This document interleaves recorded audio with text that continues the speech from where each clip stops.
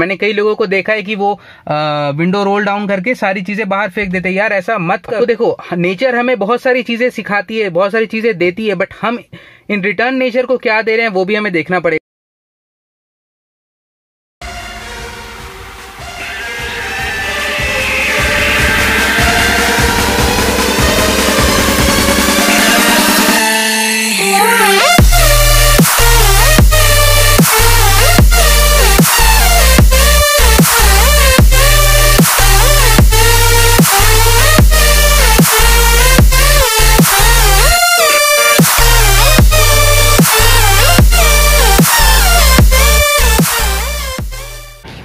So welcome back everyone मैं हूँ अंकुर Dwivedi and आज की जो वीडियो है, वो एक यूनिक टॉपिक पे है।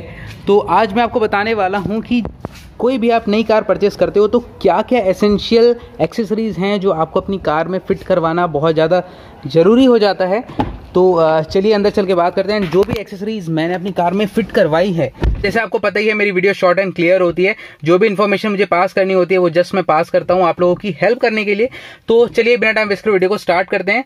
एंड जो भी एसेंशियल एक्सेसरीज आपको आपकी कार में इंस्टॉल करवाने ही चाहिए, वो मैं आपको इस वीडियो में बताने जा रहा हूँ। आप लोग वो जो शोरूम वाले होते हैं, वो आपको मट फ्लैप लगा करके देते हैं। जस्ट इन केस वो आपको ये प्रोवाइड नहीं करवा रहे हैं तो आप उनको इस चीज़ के बारे में पूछ सकते हो और ये बहुत ज़्यादा एसेंशियल एक्सेसरी हो जाती है। ये तो एक कार का पार्ट ही है। एक्सेसरी भी मैं नहीं बोलूँगा इसको। तो आप ये चीज़ ज़रूर नोटिस करो कि आपको मट फ्लैप प्रोवाइड करके दे रहे हैं कि नहीं। और अगर वो लोग ये प्रोवाइड नहीं करते तो आपको अंडर टू थाउज़ेंड ये चीज़ें मट फ्लैप जो होती हैं, वो आपको मिल जाएगी। आप इस चीज़ को ज़रूर लगा लेना। और मैं ये चीज़ क्यों बोल रहा हूँ? क्योंकि देखिए, मट फ्लैप अगर आपकी गाड़ी में नहीं होगा तो जो आपकी अंडर बॉडी होती है, वो काफ़ी ज़्यादा गंदी होगी एंड जो लॉन्ग लाइफ आपकी गाड़ी को रहने नहीं देगा। इसीलिए इट्स मोस्ट रिकमेंडेड कि आप मट फ्लैप्स को ज़रूर लगवा लो अपनी गाड़ी में।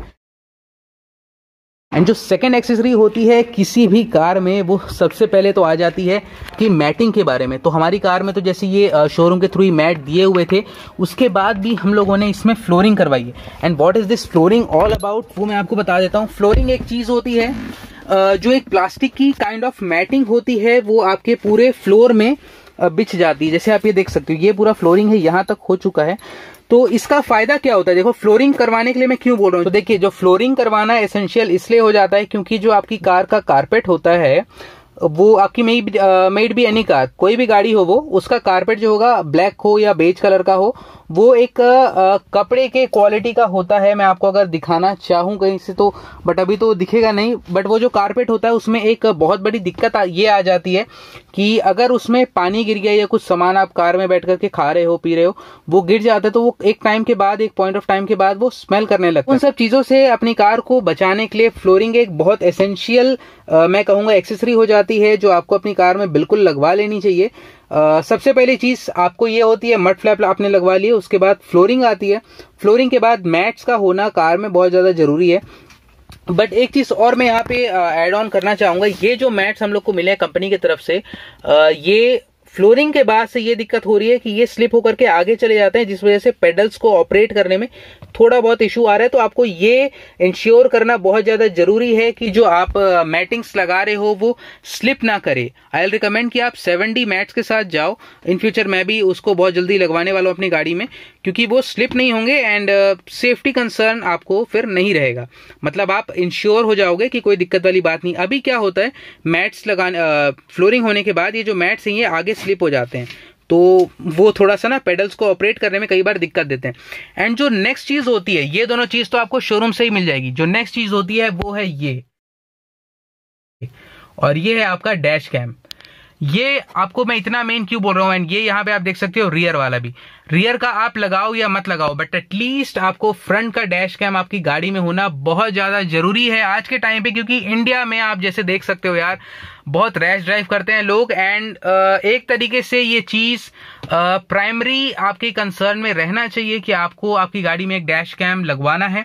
एंड सबसे पहला चीज़ तो आप ये करो कि एक डैश कैम परचेस करके लगवा लो। तो अब तक हो गई तीन चीज़ एंड उसके बाद जो मैंने अपनी कार में लगाया है, वो है ये सर्कुलर ग्लास जो आपको दिख रहा है। ये आपने पढ़ा होगा मेड भी टेंथ इलेवेंथ में आपने ये चीज़ पढ़ी होगी कॉनकेव एंड कॉन्वेक्स लेंस का। तो ये कॉन्वेक्स लेंस काइंड ऑफ़ है। और इसमें आपको अपनी गाड़ी का ऑलमोस्ट पूरा एरिया कवर हो जाता है अच्छे से। मतलब आपको किसी भी आ, जो कोई भी एंड होता है कार का वो आपको ऐसा नहीं होगा जो विजिबल ना हो।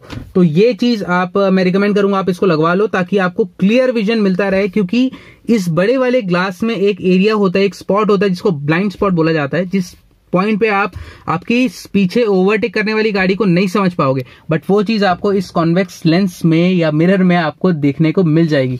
तो इसीलिए ये एक चीज़ हो गई जो दोनों साइड हमारी कार में लगी हुई है। तो ये तो कुछ थे एसेंशियल चीज़।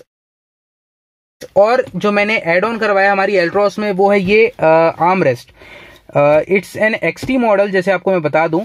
एक्जेड में आपको आर्मरेस्ट मिल जाता है कंपनी फिटेडी बट इसमें नहीं था तो ये आराम से आपको मिल गया था सेवन हंड्रेड रुपीज़ में। हियर इन रायपुर और ये काफ़ी काम का फीचर है यार मैं बताऊँ जैसे हम लोग सफारी यूज़ करते थे तो उसमें तो दिया ही हुआ था। बट इसमें ये चीज़ हमने मिस की एंड uh, बहुत जल्द इसको लगवा लिया। तो ये लकड़ी का होता है कोई दिक्कत वाली बात इसमें आपको इन फ्यूचर नहीं आने वाली है। बस ये फिक्स हो जाता है एंड ये इजिली रिमूवेबल भी है। आप इसको आराम से हटा करके रख भी सकते हो अगर आपको दिक्कत होती है तो। यहाँ पे आपका हैंड ब्रेक अलग से प्लेस हो जाता है। हैंड ब्रेक के लिए अलग से इसमें जगह दी हुई है। तो ऐसा ये कुछ सेटअप है एंड इसके अंदर थोड़ा सा स्पेस भी है। आप इसमें अपना सामान रख सकते हो जैसे ये आ, हमारा चार्जर पड़ा हुआ है आप मान के चलो सैनिटाइजर डाल लो। तो ये सारी चीज़ें आप आराम से इसमें रख सकते हो। ये बहुत फ्रेंडली है काफ़ी अच्छी चीज़ है। तो ये हो गई एंड जो नेक्स्ट चीज़ आती है वो आती है आपकी सीट कवर्स सीट कवर होना क्यों ज़रूरी है यार? ये तो एसेंशियल चीज़ होती है सबको पता ही है। सीट कवर लगवा लो ताकि आपकी जो फैब्रिक की सीट है या इट मेड भी वो, अगर लेदरेट सीट आपको मिल रही है कंपनी की तरफ़ से, तब नो डाउट कोई ज़रूरत नहीं आपको कुछ लगवाने की बट अगर आपकी फैब्रिक की सीट है, जैसे एड्रोज में फैब्रिक की सीट्स आती हैं तो उसमें आपको सीट कवर लगाना काफ़ी ज़रूरी हो जाता है क्योंकि एक टाइम के बाद आपको फिर वही ड्राई क्लीन करवाओ एंड बहुत सारी चीज़ें। तो उसके लिए मैं रिकमेंड कर आप ऑन टाइम अपना सीट कवर्स को इंस्टॉल करवा लो एंड जो पॉलीथीन जो झिल्ली लगी रहती है हमारे सीट्स में, उनको लगा करके ज़्यादा दिन तक मत रखो क्योंकि वो हेल्थ के लिए उतना अच्छा नहीं है। तो और नेक्स्ट चीज़ जो काफ़ी लोग आ, मुझे इंस्टाग्राम पे डीएम कर रहे थे कि आपका स्टेयरिंग कवर कहाँ से लगवाया आपने? वो आ, मतलब ये जो स्टेयरिंग कवर है ये भी कंपनी फिटेड नहीं है ये आफ्टर मार्केट है ये हमने बाहर से लगवाया है। ये मुझे पड़ गया था अराउंड फाइव हंड्रेड रुपीज़ मैंने यही नियर बाय मार्केट से लगवाया था। सेम टू सेम जो टॉप मॉडल वाली एल्ट्रोज आती है, उसकी तरह ही दिखेगा आपको। कहीं से भी स्टिचिंग में भी कोई दिक्कत वाली बात नहीं है। काफ़ी परफेक्ट स्टिच है। उसके बाद हमने जो गाड़ी को जितना भी चलाया है, उसमें इसका रिस्पॉन्स मुझे काफ़ी अच्छा लगा। एंड जो भी ग्रिप वगैरह है ग्रिप में कोई आपको इशू फेस होने वाला नहीं है। हॉर्न की प्लेसमेंट हो गई। मेड भी इधर से देख लो। या यहाँ से। आप इजिली बजा भी सकते हो। तो ये यार मैंने आफ्टर मार्केट लगवाया, कई लोग पूछ रहे थे, आपको कंपनी से मिला क्या? तो नहीं कंपनी का नहीं है बट लगता कंपनी जैसा है क्योंकि फिटमेंट काफ़ी अच्छी हुई है नो डाउट इन दैट ठीक है?